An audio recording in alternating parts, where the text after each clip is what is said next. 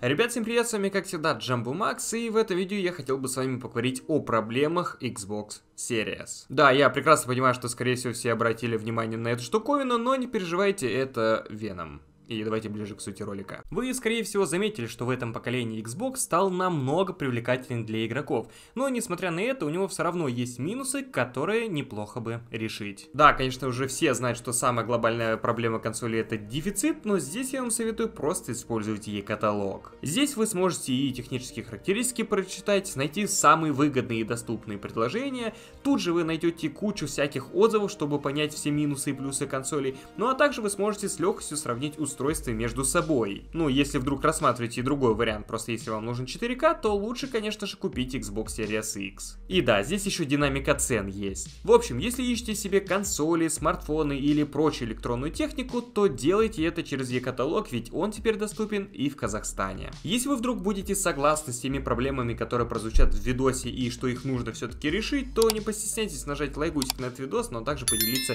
этим видео со своими друзьями. И давайте начнем. Я решил начать начать данный видеоролик с самой главной проблемы. Ну, поскольку это все-таки начало видеоролика, его посмотрят многие, и очень надеюсь, что данная проблема найдет, ну, какой-нибудь фидбэк.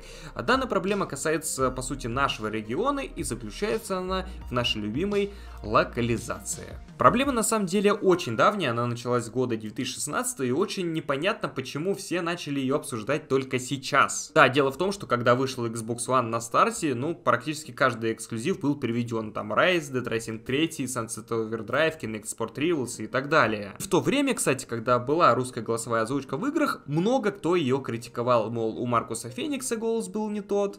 Черт. И озвучка Halo Guardians якобы кринж. Время, Линда. 89 секунд. Но опять же, на мой взгляд, да и по мнению многих, наличие русской полной локализации в играх это все равно важно. Во-первых, при наличии озвучки ты проникаешься полностью в повествование. Практически ничего не пропускаешь, не отвлекаешься на субтитры во время боя, ну поскольку попробуйте прочитать абсолютно все реплики, когда ведешь бой или куда-то едешь. Да и просто с полной локализацией ты расслабляешься и просто кайфуешь от всего происходящего, без всяких но. Да, я прекрасно понимаю, что есть люди, которые против русской полной голосовой локализации, мол, учите английский, но, ребят, а если вы хотите вдруг слушать в оригинале, вам это никто не запрещает. Если если вдруг знатоки такие английского, а, езжайте там туда, где на нем разговаривают, работайте, читайте, опять же, вам никто этого делать не запрещает. Просто, как по мне, когда мы живем здесь, в России, да, и у нас есть официальное представительство той или иной компании, как по мне, русская голосовая озвучка, она должна быть априори. Ну, разве не так? Я также прекрасно понимаю, если бы озвучки в играх не было бы вообще, да, ну то есть вот в России не, вообще никто бы не переводил на русский язык, но посмотрите на Sony. Им почему-то ничего не мешает переводить практически каждый эксклюзив на русский язык. Я лично очень кайфанул, когда проходил Uncharted, Бог войны, Человек-паука, да и практически все эксклюзивы Sony, потому что в них было приятно играть с точки зрения комфорта, то есть ты включил, не паришься на субтитры, ты слушаешь голос, все понятно, классно, атмосферно и, ну, это кайф. Знаете, за все время я практически не видел комментариев, чтобы как-то говорили, что, мол, фу, блин, озвучка говно, я лучше бы играл в оригинале. Да, конечно, может быть, при переводе есть какие-то погрехи по типу там шуток, фразеологизмов, там всяких выражений, пусть даже смысла, но опять же, это не так критично, как полное отсутствие перевода. Я опять же прекрасно понимаю, что под этим видосом, ну, найдутся, скорее всего, люди, которые будут топить опять же за английский, типа, ребята, фигли вы ноете, но опять же, никто не мешает переключить учить язык, если вдруг ты хочешь играть в оригинале. Просто, на мой взгляд, самое идеальное было бы решение в этом плане, да, просто сделать э, российскую озвучку и дать всем выбор, так скажем, настройки, потому что, ну, такое есть, да, если ты хочешь играть на английском, переключи, играй. Если ты хочешь играть на русском, возьми, сделай, играй. Все, это лучший выход из ситуации. Просто в этой проблеме, на мой взгляд, самое важное, это просто дать выбор, а там уже люди сами определятся, на чем вам удобнее играть. Но почему бы нет? Но, увы, почему-то за все это время, начиная где-то со среднего а, жизненного цикла Xbox One, мы получаем а, перевод лишь в субтитрах. Почему? Непонятно. Честно, я до сих пор не знаю истинную проблему, может кому-то не хватает бюджета, может быть кто-то сверху против этого, но как по мне, это странно, когда Фил обращает внимание внимание на Россию лично, да, там, рубитесь вместе с нами, и в то же время он не обращает внимания на самую главную проблему. Ну, вот, ну, лично я не понимаю этого. Вообще, с этой проблемой, а именно с отсутствием голосовой озвучки, ребят уже поднимают движ в соцсетях и распространяют хэштег с просьбой вести голосовую озвучку. Ну, поскольку им лично не особо нравится, что тот же Starfield, к примеру, не получит голосовую озвучку. Хотя до этого почти все игры от беседки были переведены на русский язык. И знаете, ребята на самом деле делают неплохой шаг в этой теме, по крайней мере, хотя бы попытку. Но проблема заключается в том, что несмотря на то, что реально многим игрокам якобы не нравится отсутствие русского голосового дубляжа, поскольку, к примеру, мой пост собрал нормальный фидбэк, всем по факту пофигу.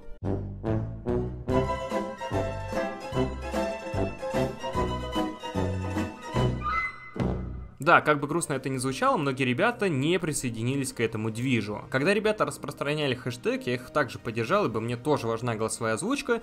Эту тему также поддержал, по-моему, Денис Мейджор в Твиттере, по-моему, пост скрина сделал Пуляев на свой канал, если не ошибаюсь. Но остальные ребята, которые топят за Xbox на просторах Ютуба, и кому капец как нравится там Xbox в других соцсетях, почему-то остались в стороне. Отмазки по типу, ой, их там никто не предупреждал, они этого, может быть, не заметили. Знаете, когда намечается какая-то халява, как какой-то мега хайп, супер новость для контента, все всегда все замечают. Вот и думайте, короче. С этого просто можно сделать вывод, что несмотря на то, что многим якобы не нравится вся эта ситуация, никто ничего для этого не хочет делать. И многим попросту даже впадлу поставить хэштег у себя в Твиттере. Ну а если впадлу вам, то зачем в принципе требовать от кого-то что-то? Поэтому ситуация по поводу озвучки на самом деле не такая однозначная, вроде все хотят, но в то же время всем и пофигу. Вторая проблема Xbox заключается на данный момент в недоступности приобретения подписки через саму консоль. А тут на самом деле, да, можно не ныть, поскольку есть официальные дистрибьюторы, через которые ты можешь купить, там, NVIDIA, еще сервисы всякие, да, но на мой взгляд это все равно немножко геморройно. Опять же, если взглянуть на конкурента, то там с легкостью можно купить подписку через консоль. У меня, кстати, недавно произошел случай, что у меня списали деньги за 12 месяцев,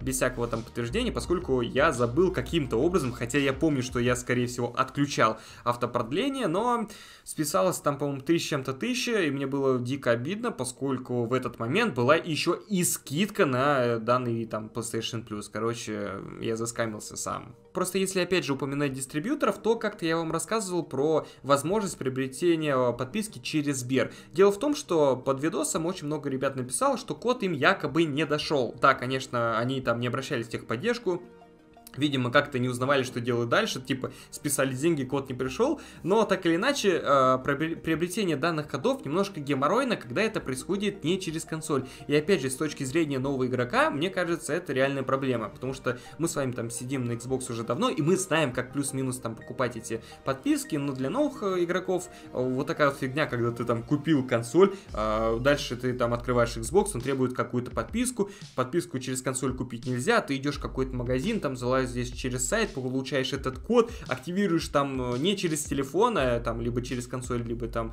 э, я не знаю, через браузер, и тогда ты получаешь подписку и играешь. Ну, как по мне, вот этот процесс, он очень долгий и очень геморный. Плюс данная возможность, к сожалению, нас лишает скидок и каких-то там триал-версий э, тех или иных подписок, и это тоже минус. Короче, это не так удобно, непонятно, почему это все происходит, но в любом случае эта проблема, наверное, не такая важная, как э, первая. Следующая проблема Xbox касается не системы, не курса рубля, ничего подобного, а физических вещей, а именно геймпадов кто бы что ни говорил, но данная штуковина ломается очень-очень часто. Да, может быть, не полностью ломается, чтобы там, я не знаю, в них невозможно было играть, но так или иначе в них э, появляются дефекты, которые вызывают дискомфорт. Если кто-то не замечал, то со временем стик геймпада Xbox просто начинает люфтить. Далее у вас появляется еще больше люфт, к сожалению, мертвую зону контролить уже не так хорошо, то есть это реально вызывает от, э, дискомфорт от игры, ну а дальше больше, к сожалению, потом у вас стик просто отклоняется в какую-либо сторону произвольно, и у вас там, я не знаю, человечек, камера, там его ноги просто бегут сами по себе в какую-либо сторону, и это ужасно бесит. На самом деле проблема, она не единичная, она глобальная, и некоторые э, игроки даже судятся из-за этого, поскольку компании просто не хотят решать данную проблему, проблему и ставит не такой качественный механизм. Вы, скорее всего, уже обратили внимание на мой жесткий люфт геймпада, но тут на самом деле виноват не только Xbox, но еще и я. Да, каюсь, а, когда я играл э, с мини-джеком, вот так вот, да, я всегда играю с мини-джеком, дабы записать звук э, для игры или просто слушать, потому что у меня, короче, а, Xbox подключен через комп. Вот, и получилось так, что мини-джек просто обкрутился в подлокотник, я отъезжал, и геймпад у меня улетел аж э, до стеллажа. Да, я, конечно, как истинный футболист, немножко обработал геймпад, чтобы как-то смягчить его падение, ну, так скажем, ногу подставил. Но, походу, просто удар пришелся вот куда-то вот сюда, вот так вот, и зона стала капец какой.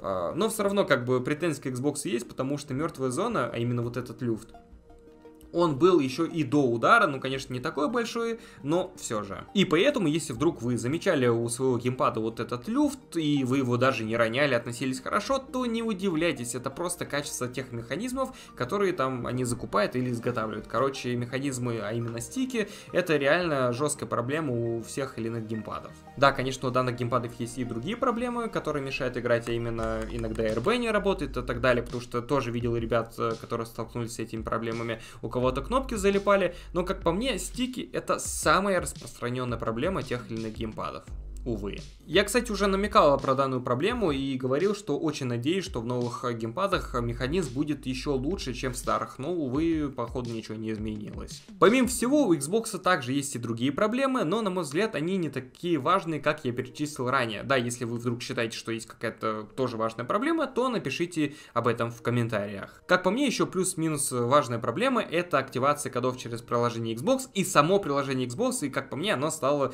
э, каким-то менее полезным полезным. Не знаю, почему они убрали активацию, не знаю, почему она до сих пор ключит, но факт остается фактом. На этом, в принципе, все. Вот такой вот видос. Если он вам понравился, ставьте лайки, подписывайтесь на канал. Обязательно пишите о своих проблемах с Xbox, ну, с которыми вы столкнулись в течение времени. И большое спасибо вам за просмотр, друзья. До новых встреч!